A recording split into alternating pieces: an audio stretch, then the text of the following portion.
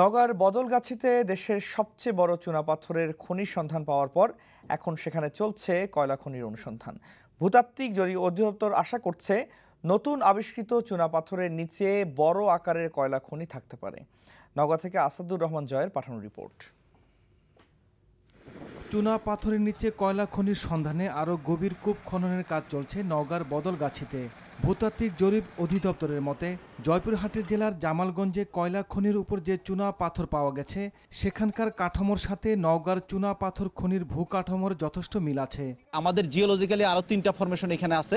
একটা হচ্ছে নিচেই, সিলেট লাইমস্টোনের নিচেই হচ্ছে তুরা ফরমেশন এবং তুরা ফরমেশনটা স্যান্ড বেয়ারিং এবং তুরা ফরমেশনের নিচে হচ্ছে আপার গন্ডোয়ানা এই গন্ডোয়ানা আপার গন্ডোয়ানার পরে হচ্ছে লোয়ার গন্ডোয়ানা এই লোয়ার গন্ডোয়ানা হচ্ছে কয়লা বেয়ারিং আমরা যদি এখানে লোয়ার বেয়ারিং কয়লা মানে লোয়ার গন্ডোয়ানা কয়লা বেয়ারিং লোয়ার গন্ডোয়ানা হিট করতে পারি, তাহলে আমরা ভবিষ্যতে এখানে কয়লার পাওয়ার একটা সম্ভব সম্ভব সম্ভাবনা আছে।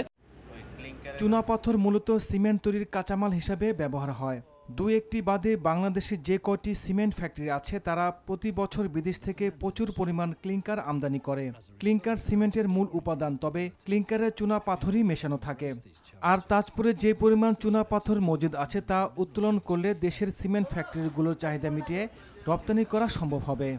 উন্নত মানের লাইমস্টোনের সন্ধান পেয়েছি। আমাদের এখন পর্যন্ত বাইশশো চব্বিশ ফিট গভীরতা পর্যন্ত খনন কাজ সম্পাদন করা হয়েছে এবং খনন কাজ অব্যাহত আছে। বদলগাছির তাজপুরে চুনা পাথরের খনির সন্ধান পাওয়ার খবরে উচ্ছ্বাসিত স্থানীয় বাসিন্দারাও। তবে খনির আশেপাশের আবাদি জমি অধিগ্রহণ নিয়ে কিছুটা শঙ্কিত তারা। খনিজ সম্পদ যেটা পাওয়া গেছে এটাতে আমরা খুশি।